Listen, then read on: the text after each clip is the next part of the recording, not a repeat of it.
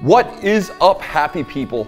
I'm Robert Arrington. This is Deer Meat for Dinner, and I am so excited about today's video. This is the very first installment of Freezer Meat Fridays. This is gonna be a way to bring new recipes from all over the world that you can cook your wild meat, fish, shellfish, whatever. The meat you have in a freezer, let's have fun with it. And I wanna dedicate this video to my friends in the Philippines named Harabas. It's an amazing YouTube channel. They're huge fans of ours. You guys just reached a million subscribers and I'm so proud of you. And to everybody in the Philippines, one of my favorite recipes is adobo. Now, adobo you can do with fish, pork, or deer meat. This is a piece of a mule deer that Sarah got just the other day. That's the package. It was vacuum sealed, says mule deer on it and I didn't even know what this meat was. I pulled it out of the freezer and I was like, oh, look at that. There's a nice muscle. And with just a handful of ingredients, we're gonna make an absolutely amazing dish. If you love adobo, drop a thumbs up right now. And if you're new to Deer Meat for Dinner, please subscribe, ring the little bell, and stay informed because no, we don't just cook, we live this lifestyle. Anytime you have a piece of wild game like that, you're going to see it. It'll probably have some silver skin on it. That silver skin is quite tough. So get your knife under it and just start gently cutting it off. Just like that. You don't want that. People oftentimes say, oh, I don't eat deer because it's gamey. Well, I'm here to tell you, if you take care of it, if the game was harvested properly, cleaned properly, and cooked properly, it will not be gamey. It will be delicious. And that's what we're doing right now. We are making deer meat adobo. First time I ever had this dish, I was in the CNMI and the Commonwealth of the Northern Mariana Islands, and I fell in love. This is like so good. And just like that, we have a perfectly trimmed out piece of meat. No silver skin. Look how beautiful that is. Now, you could use these scraps. You could boil this down. You could make a soup out of this. You could do a lot with this. But I have a little dog named Maverick. He's a blackmouth cur, and I train him. His favorite treat is raw deer meat. Next step in making our adobo. Let's come in here and just cut this into nice size pieces. Let's just cut it into nice, handsome size pieces. Just like this. We're gonna take some Everglades. This is the low sodium with no MSG in it. And we're gonna season up our meat. A little black pepper and some salt. Not just like, I like to sort of massage that meat and get all the seasoning and spices into it. Perfect. And while our water comes to a boil, we're gonna start on our wild rice.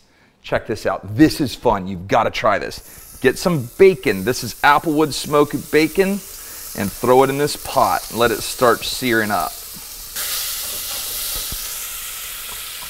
Okay, so we're gonna use this Lundberg's. It's a wild rice. I picked that up at Publix and I'm gonna throw it right in with my bacon. Now this rice is literally gonna soak up that oil and give it just an amazing flavor. Then we're gonna take some beef stock, throw it right in there. Oh yes. Now we're having fun. We're gonna let our rice keep cooking and we're gonna take all of our meat that we trimmed up and seasoned and put right in this water. Just like that. We're gonna let that meat boil for about 15 minutes. Now, let's get all of our ingredients ready. This is what we're gonna need. This is ginger. This is how I get ginger ready. This is a fresh ginger root. Basically, you just find the little fat chunks of it like this, and you're going to peel it just like that. And see, you just take your knife and just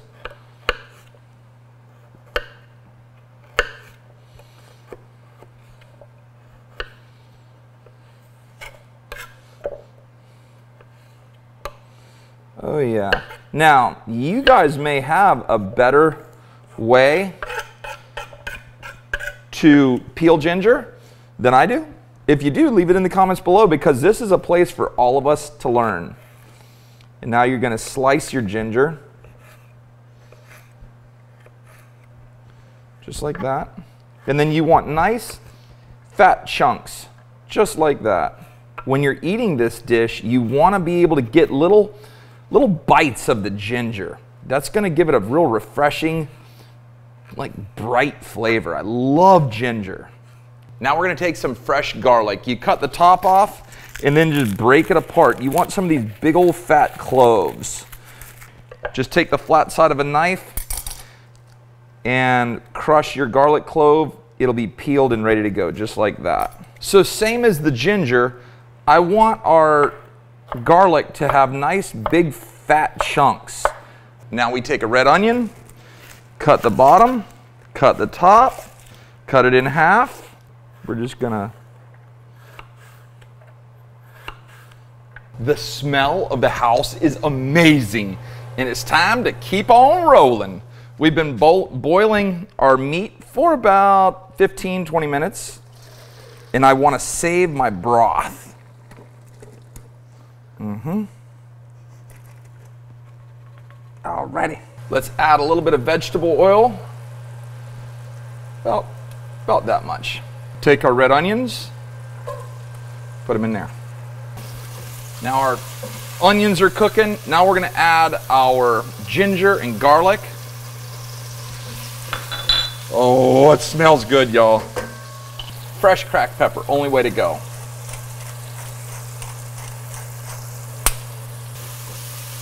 Mmm, so good.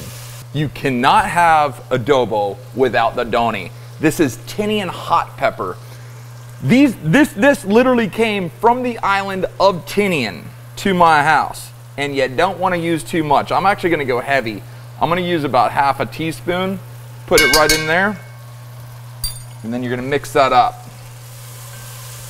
And if you're following along, like if you're following along making this recipe and watching the video, you know right now your house smells amazing.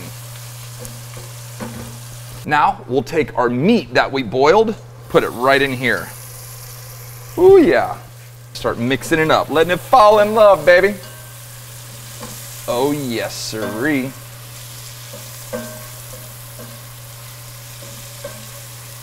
The smell is outrageous. Last but not least, say it. What do we have to add? Ba-boom, coconut milk. Can't do this without the coconut milk. Now we're to just let that start.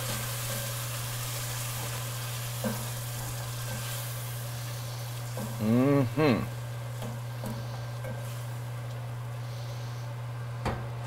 Now we're going to turn that temperature down and we're going to let it simmer. We just want that to simmer. And as it simmers, all those flavors, it's going to be like a party in that pot. We're just going to take a nice scoop and put it right in the center of the plate. Now let's take our, get some of that love right out of the middle, and we're going to put it right on top, just like that.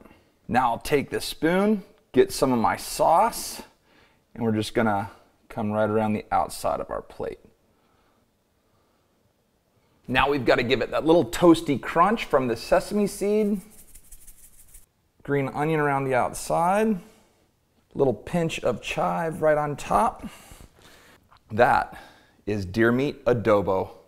Inspired by the people of the Philippines, I learned about it in the CNMI and I absolutely love it.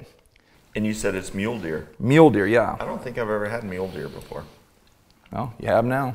I don't think I've had deer before. Really? You've never had deer? How's that possible? Sauce 10 out of 10. Rice 8.9 out of 10. Meat quality 8.3 out of 10. Presentation 10 out of 10. The fact that I'm going to finish his plate probably.